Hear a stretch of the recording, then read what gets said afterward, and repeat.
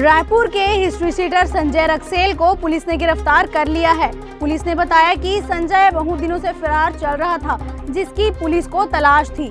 शुक्रवार को संजय को मोहदापारा स्थित उसी के घर से गिरफ़्तार कर लिया गया है। आपको बता दें कि संजय के ऊपर पहले भी कई गंभीर आरोप लगाए गए हैं, जिसका मामला खमतराई और मोहदापारा थाने में दर्ज है।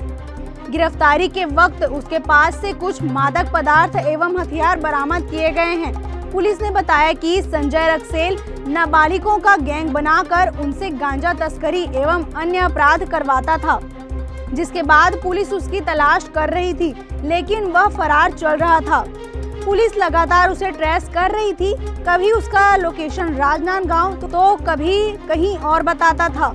लेकिन पुख्ता जानकारी मिलने के बाद संजय रक्सेल को उसी के घर मोहदापारा से गिरफ़्तार कर लिया गया है। गिरफ़्तार करने के बाद संजय रक्सेल का जुलूस भी निकाला गया और उसे पैदल मार्च करवाते हुए कोतवाली थाने लाया गया है। कार्यवाही में आज़ाद चौक सीएसपी अंकिता शर्मा भी शामिल है।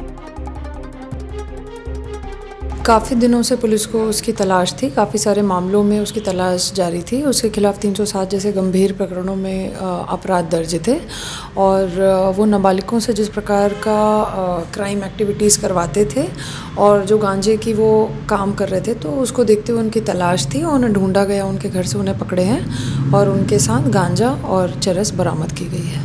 मैम, पहले भी कुछ आपराधिक मामले इसके ऊपर दर्ज हैं?